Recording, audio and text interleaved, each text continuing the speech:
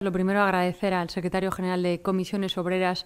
bueno, pues la, visita que hemos tenido, la cual sobre todo hemos hecho especial hincapié en cómo está impactando de manera positiva en el empleo esa reforma eh, laboral y sobre todo, bueno, pues algo que también eh, cuando estuvimos elaborando el plan de empleo, y lo digo mirando a Chechu, nos importó mucho, ¿no? El tema de los jóvenes y los datos de la, del impacto de la reforma laboral en el empleo de la juventud, pues estamos viendo cómo ha aumentado la contratación indefinida con respecto al año pasado un 350%.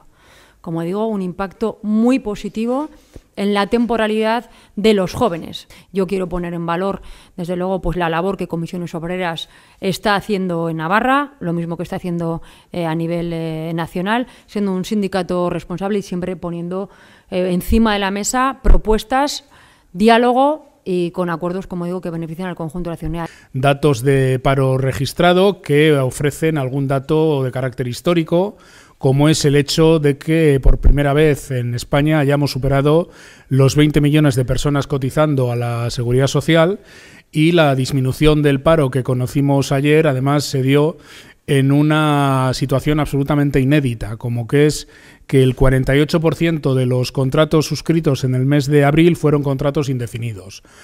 Es un dato histórico y es un dato del que hay que hacer un seguimiento permanente porque si se mm, consolida en los próximos meses, creemos que a no mucho tiempo pasar, la tasa de temporalidad en España va a dejar de ser la más alta de Europa y va a pasar a situarse en la media de Europa.